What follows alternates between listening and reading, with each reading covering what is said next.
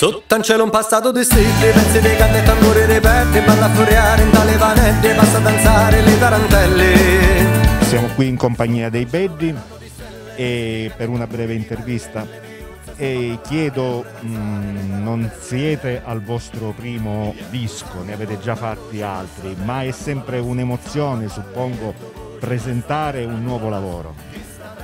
Ciao, io sono Ottavio, non faccio parte del gruppo come musicista dal vivo o in studio, diciamo ho partecipato con piccole, piccoli camei musicali, ma sono il produttore artistico di questo nuovo disco. Sì, assolutamente fare un disco nuovo, fare un nuovo lavoro, anche reinterpretare alcuni brani vecchi con una nuova produzione, è una cosa assolutamente emozionante eh, e dà nuova linfa, nuova vita un po' a tutto il progetto musicale, a tutto quello che è stato il percorso dei band fino, fino ad oggi.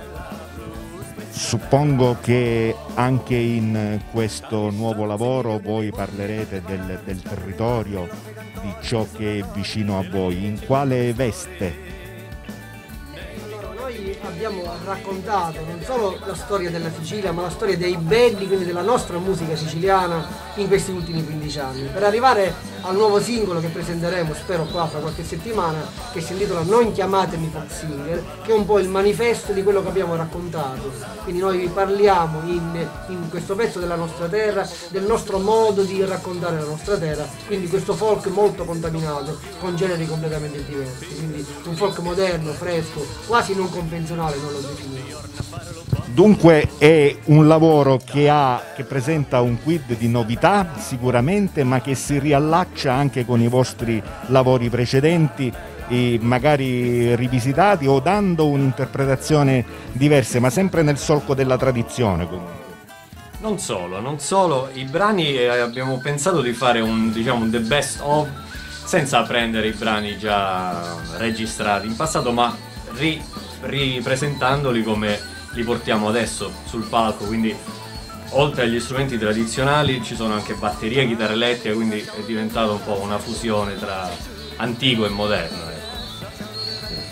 E, um, il periodo purtroppo, quello della pandemia, è un periodo particolare. Come vi siete preparati ad affrontare, a fare veicolare questo vostro prodotto in, in un periodo così di incertezza, se vogliamo, da un punto di vista del live?